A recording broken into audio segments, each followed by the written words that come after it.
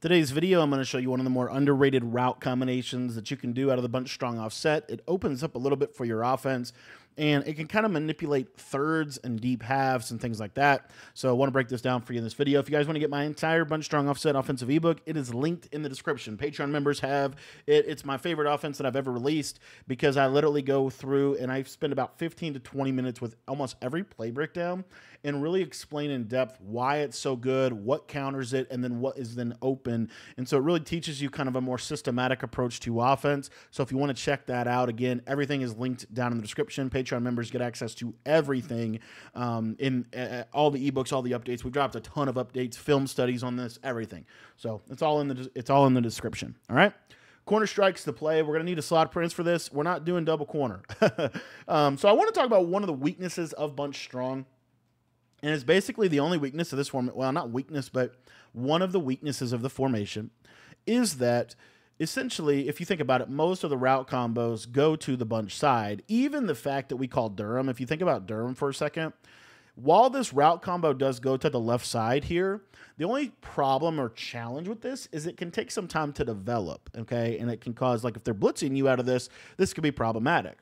So we go back to corner strike. Another thing that we could do is we could maybe motion this running back out on a streak, but that's kind of a dead giveaway of what we're doing, right? Now, of course, you could, you know, you know, kind of have an entire five out system, but in general, the, you, you, you really don't want to do that, okay? Um, I mean, you can, but it's it's not good in my opinion. So uh, you want to be able to kind of attack from this alignment to the left side quick, so that it doesn't take a lot of time, and we can block the running back while we're doing it. So uh, this is the setup that I want you to take a look at here. And basically, I'm just going to play cover three, and we'll talk about why it's really good. Again, the meta this year, most people are pressing out of dollar, and they're either putting that guy in a quarter, a third. If they play a cloud, this is a lot more open. We'll get to that in a minute. But I just want to uh, cover this for you so real quick. So what we're doing here is out of quarter strike, we're going to put our crosser on a uh, or our slot on a crosser, our tight end on a drag. You kind of have a choice here what you want to do with circle. Um, you could either put him on a hitch to playmaker him. You could put him on a streak. I typically will probably put him on a streak. All right, and I'll show you why. So what you're going to see, the main thing here is we have a high-low read to the left side, and we're basically trying to use this crosser to pull the outside third. So it's really important that you run this with your bunch to the wide side of the field. So at the snap of the ball, what you're going to see is that outside third, as Reggie White just totally ruins the video, um, that outside third on the left side is going to be wide open. So let me just explain. We're just going to go seven on seven here. I guess technically seven on eight. But again, set this up. And if you look here to the left side, this third will kind of look like he's going to guard it, and then you can throw it on the sideline. And here's the important thing about being able to throw this on the sideline. You could throw this on the sideline this year, and when you throw passes like this on the sideline, you're typically able to catch them even if they have a KO ability. So typically, this is going to be a wide open throw, and I'll show it again, and then we'll talk about other coverages that they might be able to do uh, to kind of counter this and what they're going to be susceptible to. So what you'll see here passing down and outside. I'm not freeforming this. I think it's a really hard freeform to make. I'm just simply passing it down and outside. As you can see, I can throw it. Now, let's say that on the left side, they go with the little cover two defense, right? Cover two is pretty popular. So they go to something like this to try to get that cloud flat to stay underneath the C route. This is ultimately a really good thing for us um, if they try to do this adjustment. What you'll see is pressed cloud flats this year, they really struggle to defend C routes. You can throw this right over the top. The deep half has to go to the crossing route. And so this is what makes this such a really good combo. Now, the last thing that they can really do in terms of zone coverage, um, there's a couple other things they can do. But from this look right here, this is one of the only things that is really important to discuss. So let's say they go with a curl flat, or um, I'm sorry, not a curl flat, but let's say they go with an outside quarter on that on that corner. This plays it better, um, but you can still kind of throw it, as you can see. You can still kind of throw the C route, all right?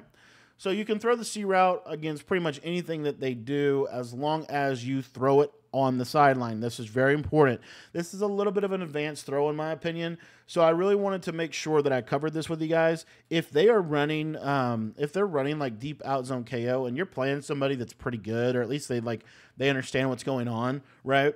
What you need to understand about this throw, you cannot throw it early. You have to throw it. You you you either want your receiver to catch it or you want it to go out of bounds. Okay, you don't want that interception. But as you can see there, KO, good accuracy completed. That happens all the time in this game, literally all the time. So it gives us a way where we can attack the left side of the field super, super fast. Now, ultimately, the other thing they could do is they could go with a cloud flat from the slot corner. Now, if they start to go to the cloud flat from the slot corner, this is ultimately what we want them to do. And you'll see here, again, base press, cloud flat with a third. It's not going to guard the C route. What they're going to ultimately have to do is they're going to have to back him off. So we'll show that again. Again, I wish I should I should have subbed out Reggie White, but we're this deep into the video. I got to keep it rolling. But what you'll see here is pass lead down. See, that's that would be considered early, and you see how the KO can react. That would be what I mean when I say don't throw the ball early. Throw the ball in a way where it's like it's your receiver or it's out of bounds. You do not want the ball thrown in the field of play. You really want it thrown right on the sideline. If you can get that, it really makes this a lot better. So you'll see here on the sideline, just like that. That is perfect. That was exactly what you want to do, and that was a quarter and a cloud. So as you can see, we're able to we're able to attack that. Um, last last underneath coverage I want to show, and then we'll talk about some other things they might do um, as you start to run this a lot. You don't want to. This is not a play I would spam. This is a play I would situationally call if I've been, you know, maybe running double corner to the right, maybe run some Durham, but now I want to attack the left and I want to have some pass pro. I think this is a really good play. So here is a press curl flat, as you can see, not able to guard it. And honestly, if you throw the ball out of bounds like that, that's okay. At least we're not throwing the ball. Uh, you know, at least we're not putting ourselves at risk to throwing an interception. Okay, so the ultimate adjustment that they're going to need to make, they're going to have to back that guy off, and they're going to have to put him in a cloud, or they're going to have to put the safety in a cloud. And I'll show both of those by actually just going ahead and putting the safety in the cloud flat, and just so you can see, like both of the, it's it's the same basic thing that's going to occur. But what you'll see is because this is backed off, now that guards that, but guess who's open? You're tight end underneath, right? So very, very important. This is going to open up Durham. Um, this is going to open up corner strike, some of those other combos. Uh, and so this also is really good against man-to-man, which I wanted to cover that real quick. Uh, so what I'm going to do is I'm just going to kind of make shift a man coverage here, but I'm just going to press man with this guy here. And then I just want you to, we're just mainly looking at the C route. You have a lot of other stuff. Like if it's just a standard man coverage, you have your crosser, you have your tight end drag, you have all that. But just really focus in here on the C route a lot of times as Barber just totally bags it. Let me go to spinner, give a little bit better of an example. Sometimes when you actually man people up out of zone, in my experience, they actually play really, really good. So just keep that in mind for your own uh, for your own uh, knowledge. But anyway, you have a high low read, and again, you're you, if if the like if the if the C route's bagged, you can throw the the drag. Okay, you can throw the drag. But what you typically will see here is that's more likely what's going to happen most of the time when somebody runs a man on you. So the beauty of this is it gives us a way to attack the left side of the field quick. We can block our running back, and we're able to uh, we're able to have this crosser there as well. Now the crosser, the only real thing I would say about the crosser, one little really I think important thing to discuss is another meta defense we're starting to see a lot of people run, which is basically this right here. And if this either one of these guys, if they're running cover three essentially, right? If they're running cover three, okay, the crosser is going to get open kind of right in that little void right there as well. Okay. Now it's a real, in my, I just don't, I think the crosser is, is a little too hairy of a read for me. But just understand, like, you do have the crosser uh, against cover three. And we'll show it again here. Here's cover three. You see how I can throw this kind of right in that little pocket? So, and this is more so if they start to quarter. The other thing I did want to say some people I've noticed in Madden uh, 24 right now, they like to run deep half, uh, like a deep half on the field if they're playing like bunch or something. I like to run a deep half. You'll see the C route just kills it. You can't do that because the deep half has to go to the crosser every single time.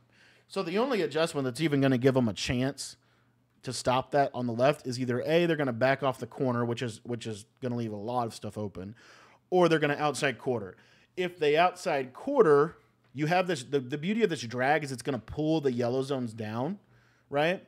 So if they do that, then typically you're going to be able to throw this kind of right in this little window right here, okay? And honestly, ultimately, normally, what's going to happen is that C route will still be open against a quarter. So again, this is not something you call every time, but it's something that if called at the right time, uh, it's really, really, really good. So let me give one last thing. So let's say they hook curl this guy and they're going to send four, right? So they're going to send this guy. Okay, if they hook curl this guy, they almost always, from what my experience, they're going to shade underneath. Okay, and then their user has to kind of sit over here and wait for the running back, typically, right? So they're kind of relying on the hook curl to come down and guard the crossing route. Well, if you take a look at this, you'll see this is wide open in the middle of the field. So it really does a good job of kind of I guess like taking advantage of some of the weaknesses of base press dollar, which is why I really have kind of fallen in love with this route combination. Again, it's not an every play call, but it's more of a constraint play that I utilize to open up double corner and open up um, Durham. So thanks for watching the video, guys. If you want to get the full ebook on this, where we're actually explaining the thought process behind the entire system. Make sure you join the Patreon. It's the best place to get better in Madden, in my opinion. It's only $10. It gets you access to every single ebook that I have, as well as all of the updates. You can sign up by heading down to the description and clicking the link down below.